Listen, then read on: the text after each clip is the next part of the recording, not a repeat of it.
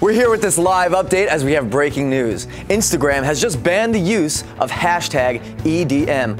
It looks like all the posts associated with the hashtag are related to nudity, drug use, blow and molly and all that. Basically, hashtag living.